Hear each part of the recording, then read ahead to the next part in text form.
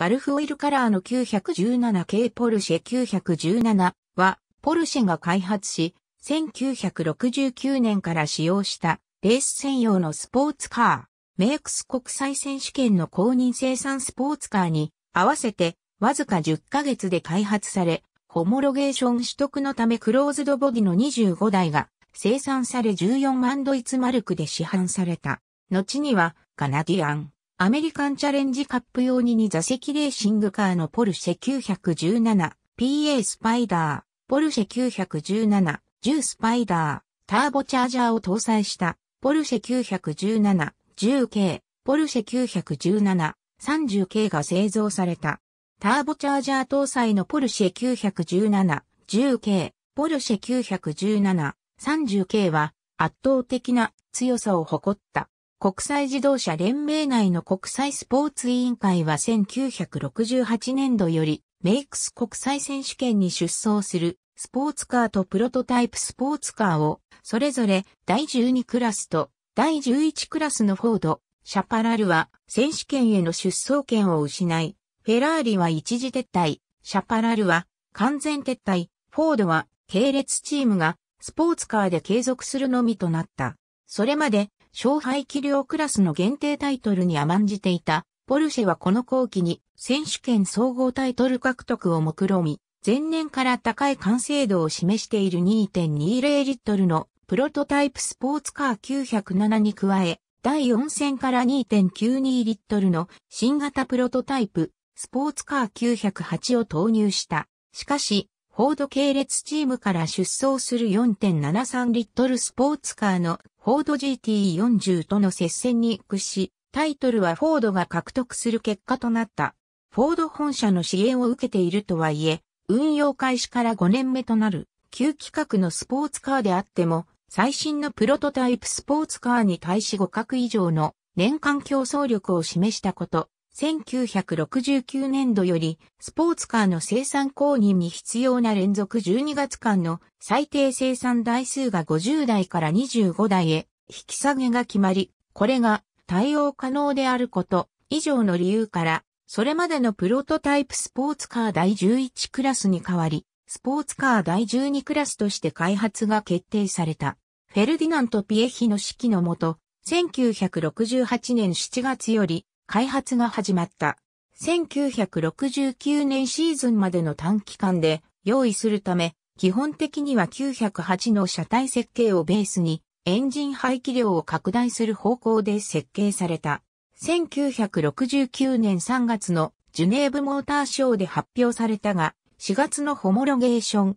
審査までに25台が完成せず、1ヶ月後に改めて査察を受けて公認された。この際、精度を厭わず特管作業で必要台数を揃えたため、査察後に改めて精度管理のもとに再組み立てが行われた。917系の910、10型回12、エンジン新設計のクレーナイ系ファイ 85mm、高低 66mm 水平対向12気筒 4494cc912 型エンジンで、当初から520馬力、8000rpm、46kgm、6800rpm を発揮した。構造としては908に搭載された 2997cc 水平対向8気筒の908型エンジンに4気筒を足す形で第12クラス上限の 5000cc までは使い切らなかった。908型までは気筒ごとに一つのクランクピンを持つ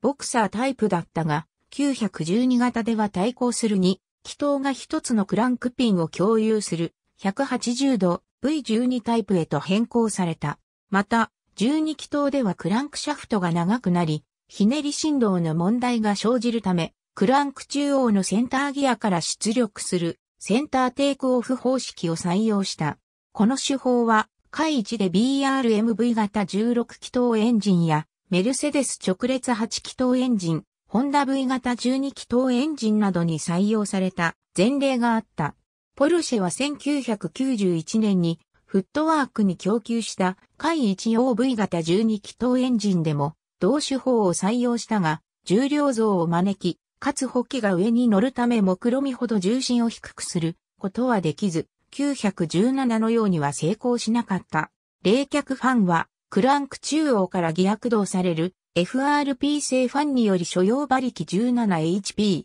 エンジン回転数が 8400rpm の時 7400rpm で回転し、2400リットル秒の空気を送風するという。ギアボックスは大トルクに耐えうる5速マニュアルが新設計された。917-908と同様のアルミ合金パイプによるスペースフレームを採用し、フレーム自体の重量はわずか 47kg に過ぎない。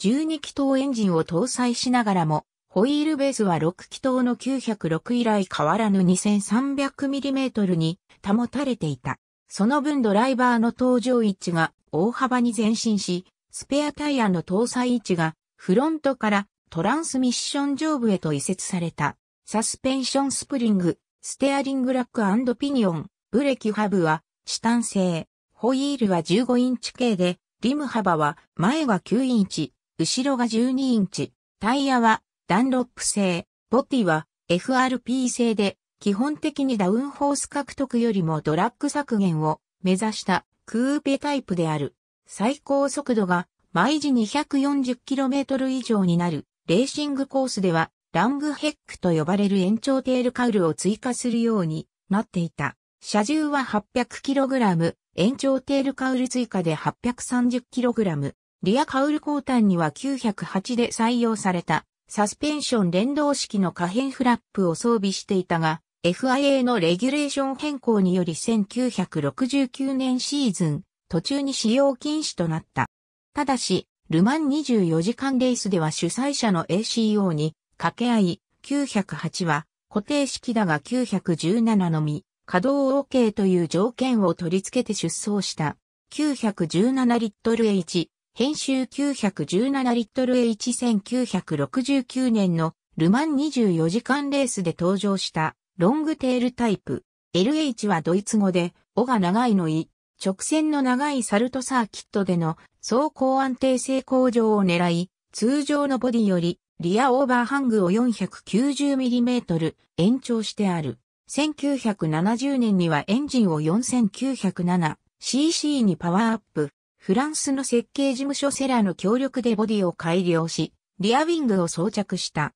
1971年には、リアボディカウルのリアホイールハウスに空力性能向上を目指したスパッツを取り付けた 917K、編集 917K1970 年より単に917と呼ばれていたショートテール版に 917K の形式名が付与された。K はドイツ語で短いのい。前年度のマシンからボディフォルムを一新し、ポルシェ伝統のクーペフォルムからボディコータンを跳ね上げてダウンホースを確保する斬新なリアカウルに変更した。このリアカウル変更に伴い、フロントカウル形状も左右スクエアな形状に変更して行角変化によるダウンホース変化を少なく抑えるようにした。エンジンは LH と同じく 4907cc、トランスミッションは4速 MT に換装した。1971年には 4998cc で630馬力のエンジンを搭載。リアカウル両側に2枚の垂直フィンを設置して、整流効果を狙い、ストレート走行時のハンドリング安定性とトップスピードの引き上げが図られた。この年のルマン24時間レース優勝者は、実験的にマグネシウム合金のパイプフレームを採用し、アルミニウム合金フレームよりも 50kg 程度軽量化された。917、20、編集917、20タイヤ周りの空気抵抗削減を狙い、ワイドボディを採用した実験的モデル。大柄な外見からバータダイソというあだ名が付けられた。スポンサーのマルティーニがこのスタイリングを好まず、ボディにスポンサー名を一切書かないよう命じたというエピソードがある。1971年のルマン24時間レースに出走した時には、ボディ全体がピンク色に塗装され、各所に豚肉の部位が表記された。2018年のルマンでは、ワークスの 911RSR の1台がこのピンクピックのカラーリングをまとって出走し、LM、GTE プロクラスで優勝した。917PA スパイダー、編集 917PA カナディアン、アメリカンチャレンジカップ用オープンボディで。908、エンジンは917と同じ。4494cc だが 590HP、8500、RPM にパワーアップされ、ボディは 740kg に軽量化されている。PA は、ポルシェアウディの略で、当時のアメリカのポルシェの販売網は両社を一緒に扱っていた。917、10スパイダー、編集カナディアン、アメリカンチャレンジカップ用オープンボディ、4998cc で630馬力のエンジンを搭載。917、10K、編集917、10K カナディアン、アメリカンチャレンジカップ用オープンボディで、空冷水平対向12気筒 DOHC4998cc にターボチャージャーをつけて900の1000馬力を発揮するエンジンを搭載。前年の917、10とノーズワツラのカーブ形状が異なり、フロントラジエーターの開口部を大きくすると同時に、リアウィングを使用したターボ付きエンジンの発生する強力な出力にあったダウンホースを確保した。ターボチャージャー搭載車に付与された。K は、ドイツ語で下級機の E917、30K、編集917、30K カナディアン、アメリカンチャレンジカップ用オープンボディで1100馬力を発揮する。空冷水平対向12気筒 DOHC5374cc のターボチャージャー付けエンジンを搭載。前年度の917、10K の進化版、917、16スパイダー、編集1971年に。カナディアン、アメリカンチャレンジカップ参戦を睨み試作された。6.6リットル、750馬力の。水平対向16気筒エンジンを搭載したもの。エンジンの全長が長くなり、車種全体を延長する必要が生じたために、運動性の悪化を招き、後発の912型エンジンにターボチャージャーを追加した912 10型エンジンの方が高出力であったため、実戦投入は行われなかった。現在、シュトゥットガルトのポルシェミュージアムに現存機が展示されている。1969年公認取得の条件となる25台製造に手間取り、実戦投入のタイミングが遅れた。メイクス国際選手権第6戦フランコルシャン 1000km でデビューしたが、一周のみでリタイア。参戦初年度は主戦の908と併用されつつ、実戦で開発が続けられた。当初はエンジンパワーにシャーシが追いつかず、ハンドリングに問題があり、最終戦オーストリアの一勝に終わった。ルマン24時間では、プライベーターのジョン・ウルフが炎上死し、首位を独走していたヴィック・エルフォード、リチャード・アトウッド組も残り3時間でリタイアした。カナディアン、アメリカンチャレンジカップには、シリーズ後半戦から 917PA スパイダーで参戦。ポルシェのディーラーチームとして出場し、ジョー・シフェールがシリーズ総合4位を獲得した。1970年メイクス国際選手権でのワークス参戦を休止。前年までフォード陣営にいたジョン・ワイヤ率いる JW オートモーティブエンジニアリングと提携し、レース活動を委託。マシンはガルフ石油の水色オレンジ色のスポンサーカラーに塗装された。また、ピエヒ一族が経営するディーラー系チームであるポルシェ・コンストルクチオネン・ザルツブルクもセミワークスとして参戦した。ジャウィの提案により、ショートテールの 917K に改良されたのが高をそうし、走行安定性が大幅に改善。メイクス国際選手権では、ライバルのフェラーリ512を寄せ付けず、10戦中7勝を挙げて、チャンピオンシップを獲得した。ルマン24時間では、ザルツブルグチームのハンス・ヘルマン、リチャード・アトウッド組の917系が優勝し、ポルシェ悲願のルマン総合優勝を果たした。1971年メインチームのジャウィに加え、ザルツブルグチームの解散により、マルティーニインターナショナルがセミワークス待遇となった。メイクス国際選手権では11戦中7勝をし、マニファクチャラーズチャンピオン3連覇を達成した。連覇を果たしたルマン24時間では、マルティーニチームのヘルムート・マルコ、ジィズ・ヴァン・レネップ組の917K が、走行距離 5335.313km を達成。この記録は2010年に塗り替えられるまで39年の間最長であった。また、JW チームのジャッキー・オリバーがユノディエールで記録した246マイルパーアワーも1988年まで最高速記録であった。カナディアン、アメリカンチャレンジカップには、ペンスキーレーシングに917、10スパイダーを委託して参戦。優勝はできなかったが、シフェールがシリーズ総合4位を獲得した。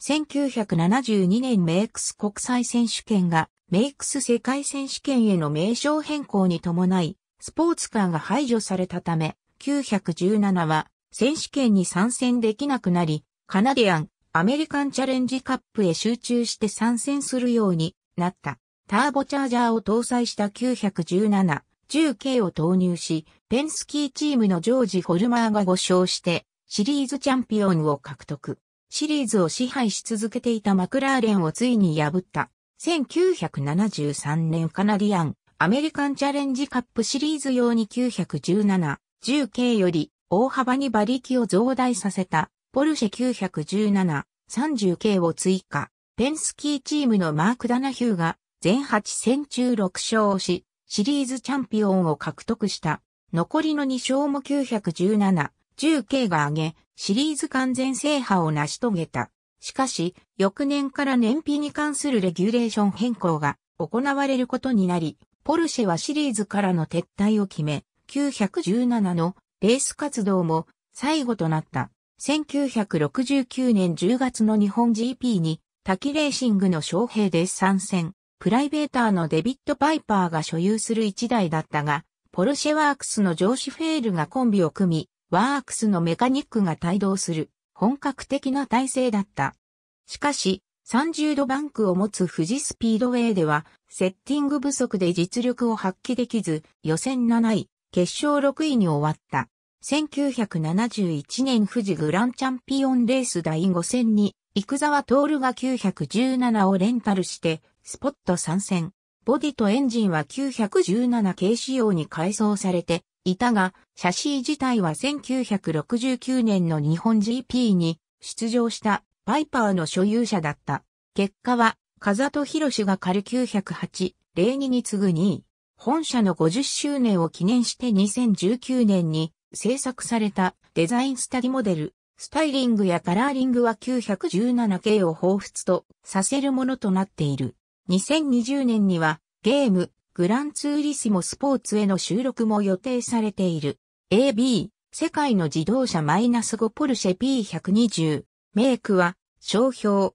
銘柄などの意味であり、日本において製造者と同義で用いられるメーカーとは意味が異なる。ポルシェはそれまでもレーシングカーの各モデルを20台 AB、レーシングオンナンバー495ポルシェ917 VS フェラーリ512、3A 処方、2018年6月、24ページ。ポルシェ906、910、907、908、917、P179、ポルシェ906、910、907、908、917、P181、ポルシェ906、910、907、908、917、P182、ABC、ポルシェ906、910、907、908、917、P185、1969年版ドイツ語、英語フランス語販売カタログ、ポルシェ906、910、907、908、917、P189、世界の自動車マイナス5ポルシェ P122、ポルシェ906、910、907、908、917、P229、ポルシェ906、910、907、908、917、P228、WEC70 周年のポルシェが1から2で、ルマン制圧、マコイキ、フォードとのバトルは最高だった。オートスポーツ2018年6月29日閲覧。世界の自動車マイナス5ポルシェ P124。我らがポルシェポルシェなんでも、時点 P161。我らがポルシェポルシェなんでも、時点 P159。ポルシェ906、910、907、908、917、PP242 から243。ありがとうございます。